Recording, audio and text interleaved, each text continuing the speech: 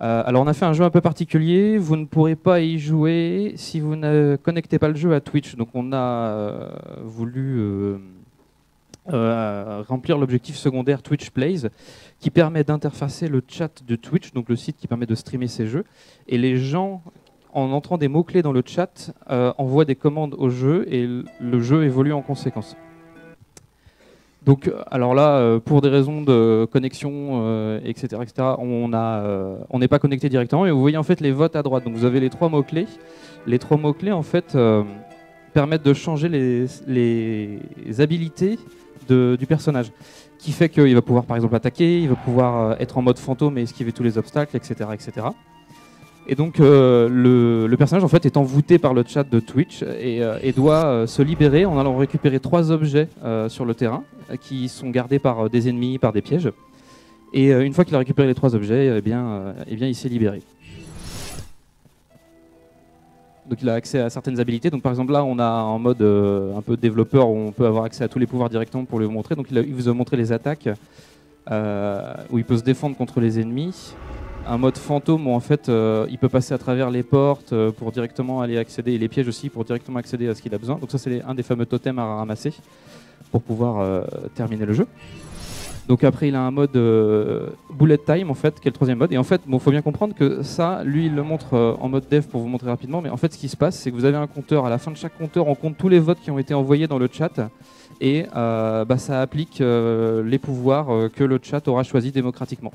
Donc euh, en fait le joueur doit s'accorder avec le chat et doit subir euh, un chat sympa ou un chat un peu, euh, un peu méchant.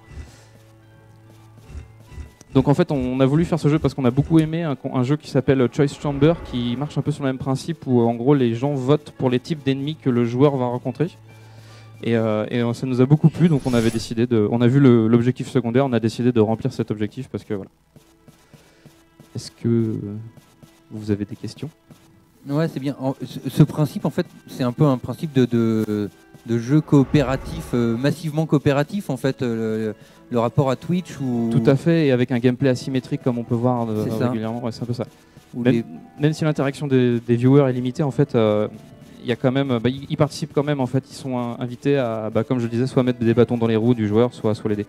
En fonction de la situation, parce que les trois pouvoirs sont censés être un peu différents.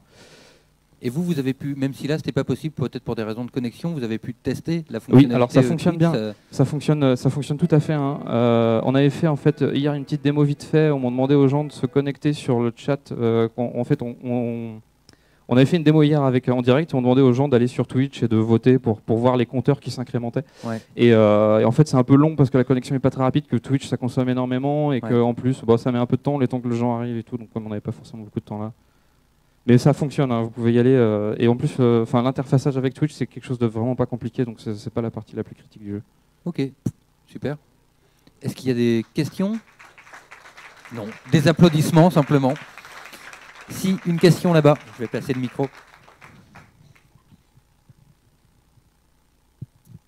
Euh, dans, vous, évoquiez, vous évoquiez tout à l'heure Choice Chamber. Euh, il me semble que dans Choice Chamber, à chaque changement de salle, euh, on redemande un vote du, enfin, des viewers. Et là, du coup, dans ce jeu-là, comment ça marche en fait euh, À quel moment en fait on ressollicite les viewers alors, en fait, on a un compteur. Ah oui, Un compteur bourg qui est là en fait. Et pendant le, temps imparti, les votes sont comptés.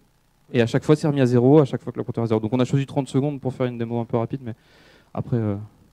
Alors ça change pas dans le jeu, c'est que dans le code en dur, parce qu'on n'a pas forcément le temps de faire les choses hyper propres, mais, mais, mais c'est changeable en fait. Ok, merci.